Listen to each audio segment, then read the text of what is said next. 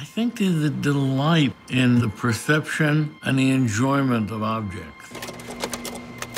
Objects are there only if you really see them. And art is trying to make others see what you see.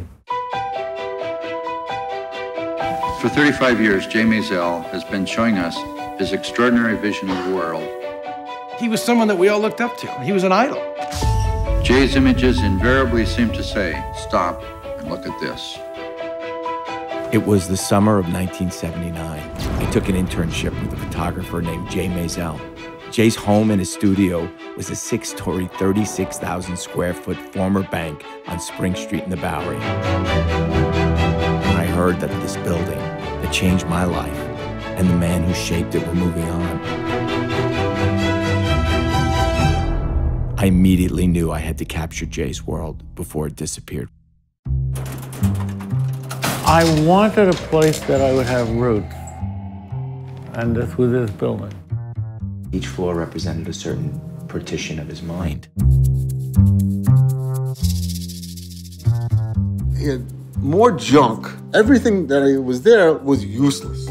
They're estimating 35 truckloads to get out of here. He sees all these potential in things that no one else would. He just has such a sense of play.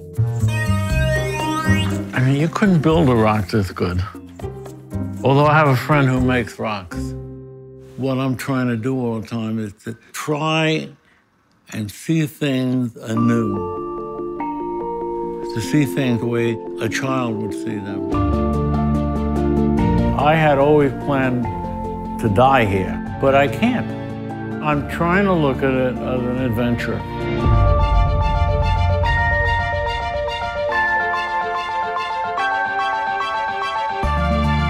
He was an artist of his generation, a philosopher, and the greatest teacher I ever had. We do not take pictures. We're taken by pictures.